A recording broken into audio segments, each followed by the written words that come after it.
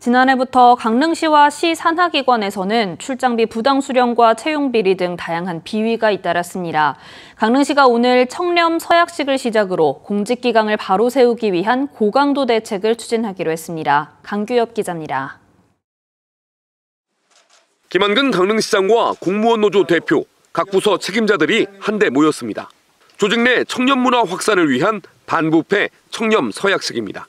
지난해부터 계속되는 강릉시청 직원들의 다양한 비위 행위에 대한 사실상 첫 번째 대책입니다. 이달 안에 전 직원으로부터 청렴 서약을 받을 예정입니다. 공직윤리가 시민들의 기대에 미흡한 부분에 대해서는 어, 사죄의 말씀도 드리고요. 청렴한 공직 문화가 강릉시에서 조성이 되게 하기 위해서 시의 모든 공직자들이 최선의 노력을 다하겠다는.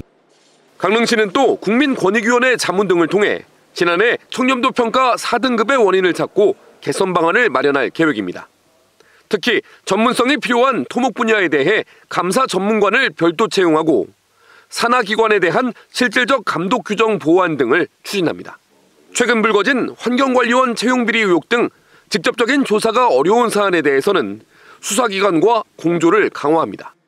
행정기관에서는 이제 할 수 있는 범위가 한정되다 보니까 외부 사법기관에 저희 요청해서 그렇게 수사 의뢰를 하게 됩니다.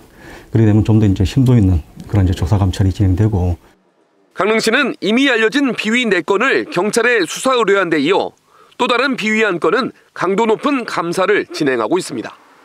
일단 불미스러운 사건으로 신뢰도에 의문이 제기돼 온 강릉시가 자성의 움직임을 통해 시민들의 신뢰를 되찾을 수 있을지 주목됩니다. KBS 뉴스 강규엽입니다.